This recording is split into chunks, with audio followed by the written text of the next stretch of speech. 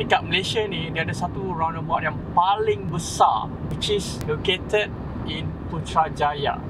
Kita start daripada sini lah. Okay, start daripada sini. This is, okay, kita start daripada situ untuk traffic light. Just for you guys.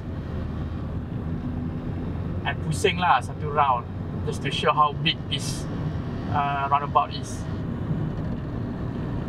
Dan pusing, okay, sampai to my left ni susun keluar untuk pergi ke Alamanda, Precinct 14, Precinct 15. Uh, you can even go to apa nama ni? Apa nama apa nama? Um, Kebangi. Okay, now uh, on my left, on the left is the kompleks kerajaan, kompleks E, kompleks C, C ni saya. E, D, C. Ha, semua tu lah. Okay, pusing. Now dah satu kilometer.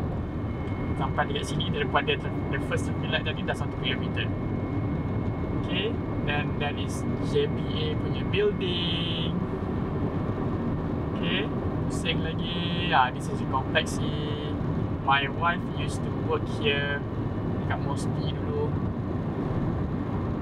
Okay, pusing lagi, pusing lagi. And okay, then this one susu keluar untuk pergi ke misi 16. Another traffic light. And then to the left yang you nampak ada dome tu uh, Dia ada dua Satu Jabatan Perdana Menteri Satu lagi Prime Minister's Office Sebelah kiri ni Masuk sebelah kiri ni And then you boleh pergi Masjid Putra Okay Pusing lagi Pusing lagi Nah, now dah sampai dekat sini dah 2 km dah. Okay. Pusing lagi Pusing lagi Sebelah kiri ni. Susul keluar untuk pergi Precinct 8 Precinct 9 uh, Precinct 7 nak pergi masuk Max Highway apa semua. I'm supposed to use that one lah. Tapi just for you guys I pusing lah. For the sake of you I pusing lagi. Okay Nak sampai dah Mana tadi yang kita dah nak sampai kot Mungkin kita dah nak sampai kot Dekat kita punya start uh, point tadi tu Okay Ah, sini dah sampai 3 km dekat sini. Ha. This is the 3 km mark. Okay, we are almost there. I think. Ha, dah sampai dah. And here we are. This is where we started tadi.